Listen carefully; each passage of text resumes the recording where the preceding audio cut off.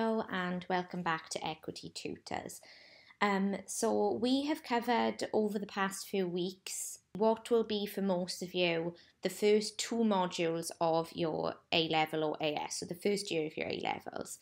And as we've mentioned, we've been trying to cover the specifics for everyone's specification, everyone's syllabus.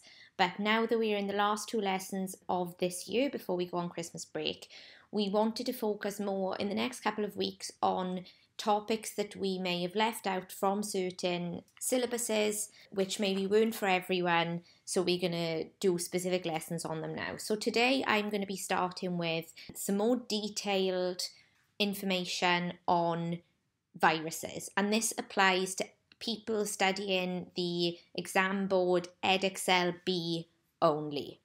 So if you are not studying under the Edexcel B exam board, you do not need to know this information and so you don't need to listen.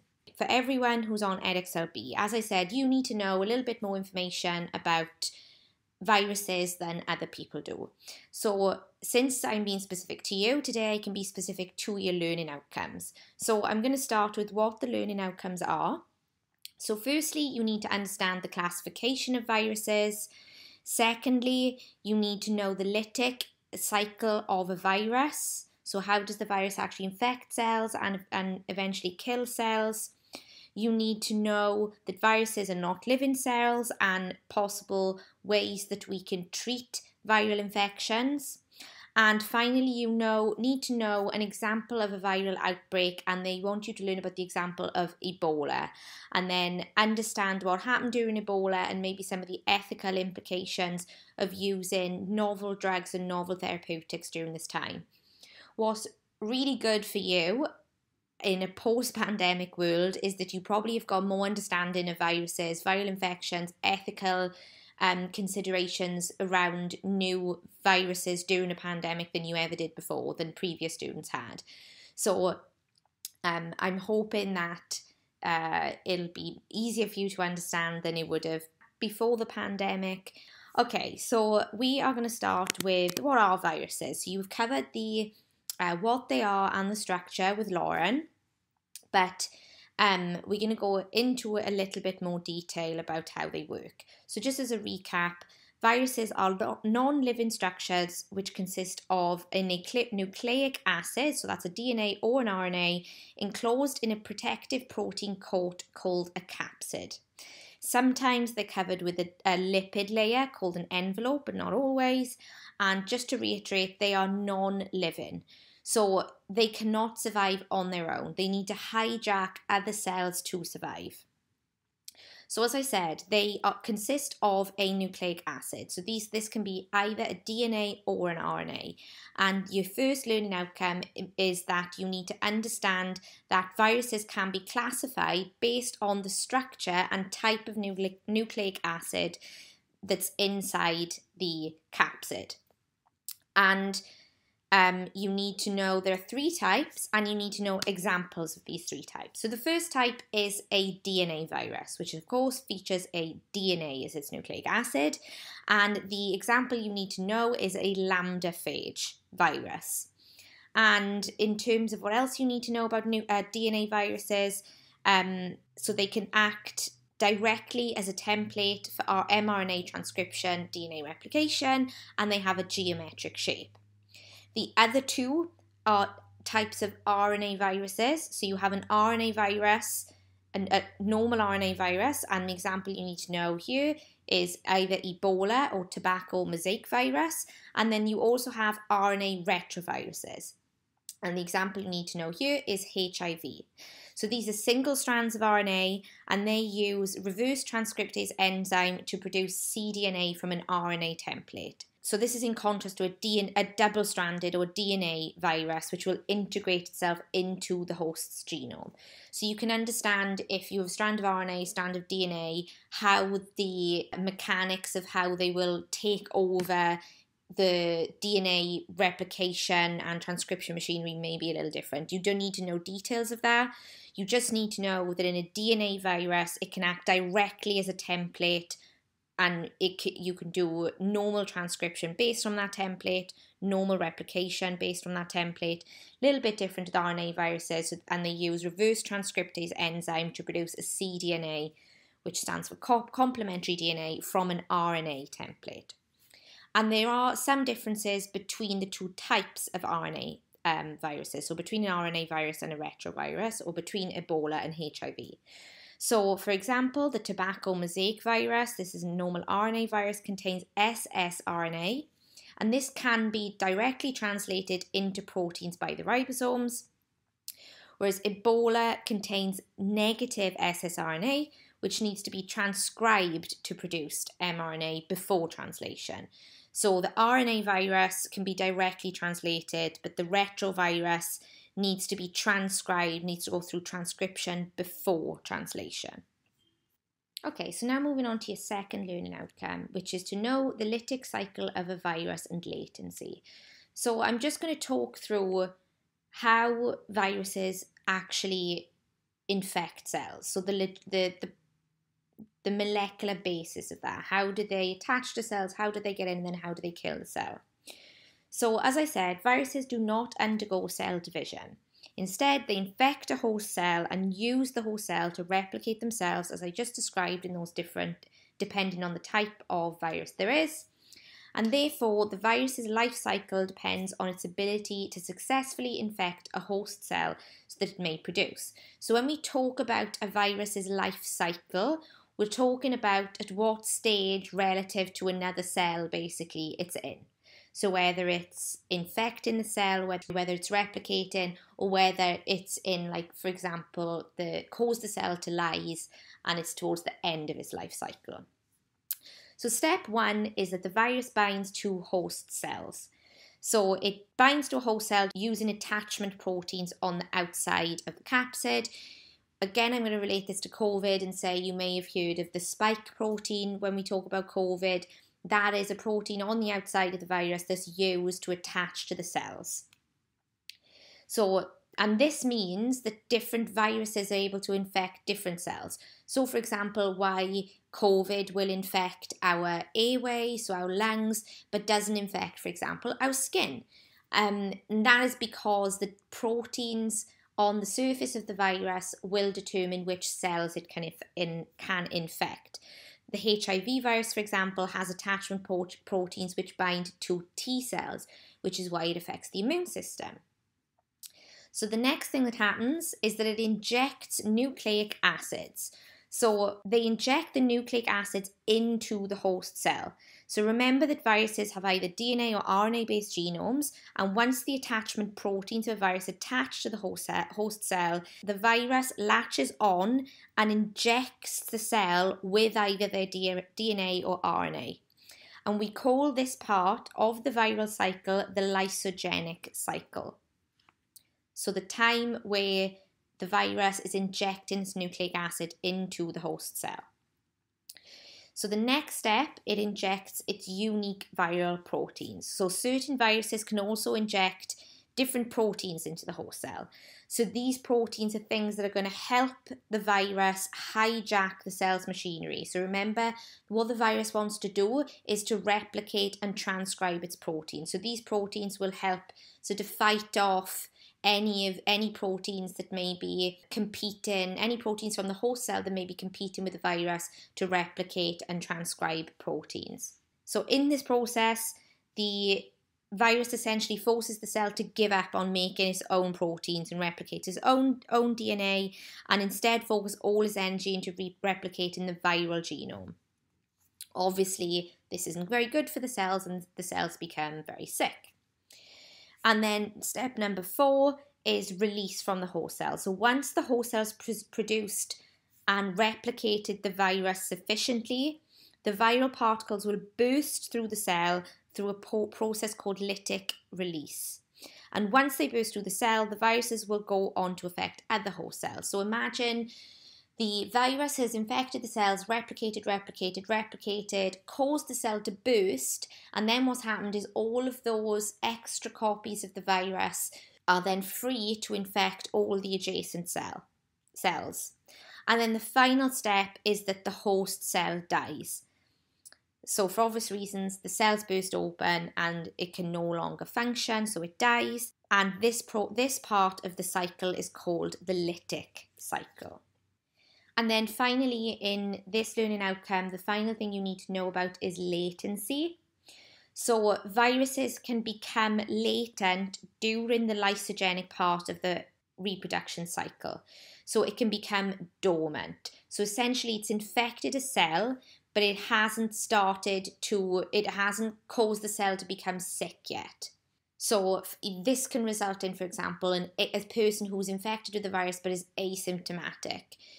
Um, another example, real life example, is uh, HIV where you hear the people still have HIV but it's dormant. So they're undetectable, but they are still infected with HIV. It means that they can't spread the HIV, means they have no symptoms of being infected with HIV because the virus is latent.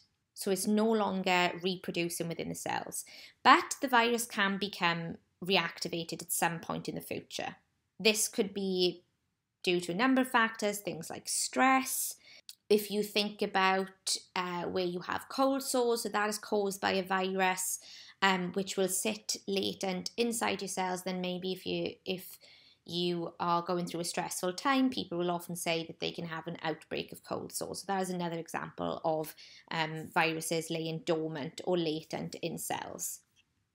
So just to recap, lysogenic viruses or viruses in the lysogenic cycle insert DNA or RNA in the form of a provirus into the DNA of the host cell, which enables viral DNA or RNA to be replicated using the host cell's machinery.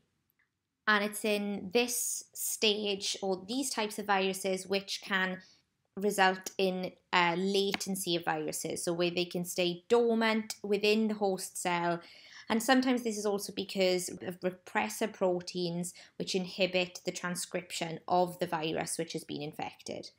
Lytic viruses then will cause lysis of the whole cell when a large number of viruses have been, been replicated within that cell. They're assembled and it, the cell bursts open and the virus is ready to infect more cells.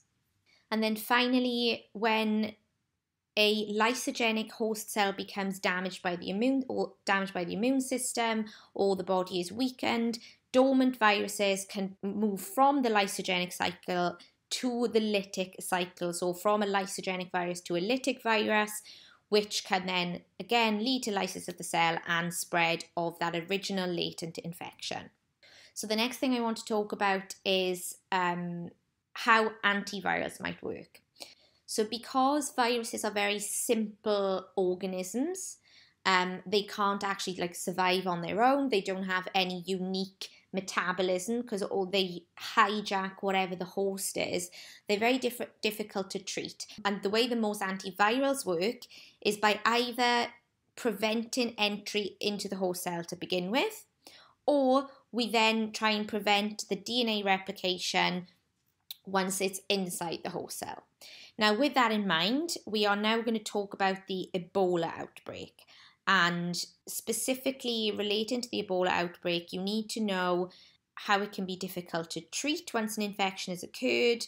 And because it's so difficult to treat, the shift often goes to prevention of infection. Again, something that you'll be very familiar with now and also the ethical implications during an outbreak like Ebola about using novel therapeutics, so new drugs that are untested. What are the ethical implications of using drugs that have never been tested before in a new outbreak which is potentially deadly? So, just a little bit of background on Ebola. So, it was a virus that spread rapidly, rapidly through the areas of West Africa in 2014 and generally speaking, there was very poor hygiene in the area. It resulted in almost 5,000 deaths. There was no effective vaccine, and so disease control measures were generally aimed to reduce spread. So, when I say about reducing spread, again, this would be something you are familiar with. Things like quarantine for people who are positive for Ebola virus, sterilisation of equipment, protective clothing, PPE, so people using masks and gloves, and scrubs, especially for the doctors treating these patients, to try and stop spread between different people. Um, you also have obviously quick testing. That was another thing you can relate to COVID. So, rapid identification and testing of the individuals who came in contact with the disease. So, remember, track and trace. And then reducing person to person contact with the virus. So, that is relate that to lockdowns. So, generally reducing how much interaction is occurring between people. So, now talking about the specific treatments and vaccines that came about during this time. So, as you can imagine, this was a very deadly virus. It was more deadly than coronavirus, and people were desperate for any sort of treatment um, or vaccine to help reduce the spread and then help, uh, well, number one, reduce the spread, and number two, to treat the people already infected. So, New drugs were needed very quickly, and some vaccines were made on on a super fast tracked route. For example, an exper- experimental drug, ZMapp, was given to some people and had never been given to humans before.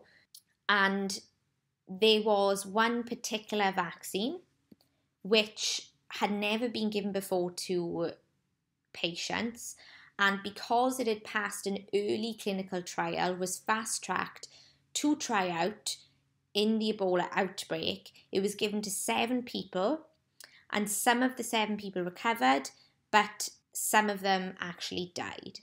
So, we want to use this example of this fast tracked drug to discuss and consider the ethical implications of using or not using these types of untested drugs. So, when in a situation like this where patients are severely ill, so I would advise this is an ethical discussion. So, I would advise you need to put yourself in those shoes. So, you have be you've been infected with Ebola, and let's say, for example, the advices or doctors think that you are more than likely it is going to be fatal. So, you're more than likely going to die from this infection. And you have a known treatment which will maybe save 10% of people and an a new unknown drug which is has been promising in early stages of clinical trials maybe in animals but hasn't been tested in humans so an unknown outcome so think about the things that you would weigh up if you personally were trying to decide do I go for the known 10% possible survival or an unknown drug? So, the things that you might consider.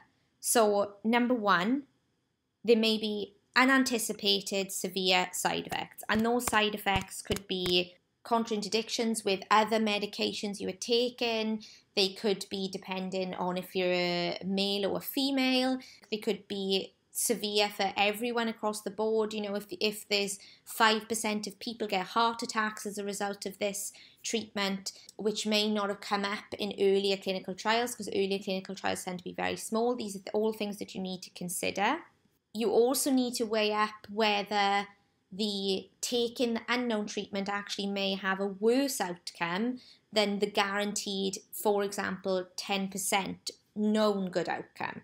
So, how effective are the other available treatments?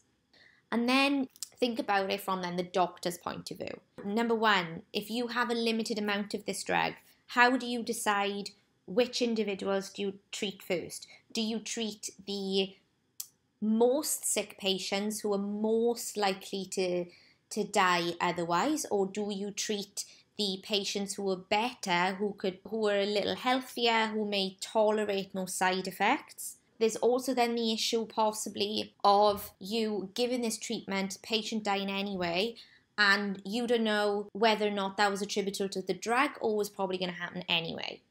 And then finally probably the most complicated is the fact that severely ill patients cannot give informed consent.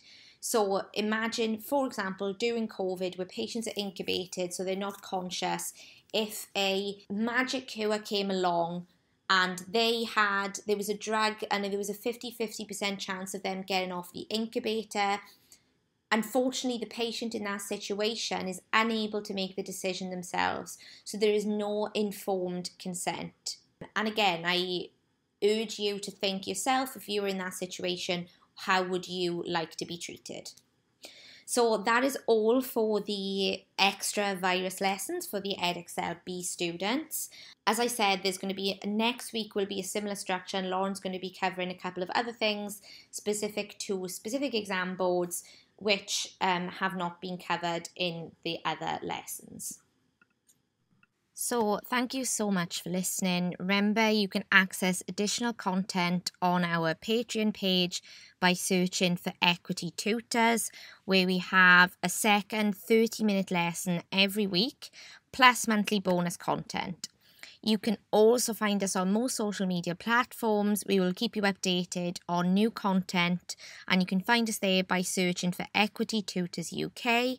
Please like, share, subscribe, and comment wherever you are listening. And if you're enjoying, please leave a review. Bye. Bye.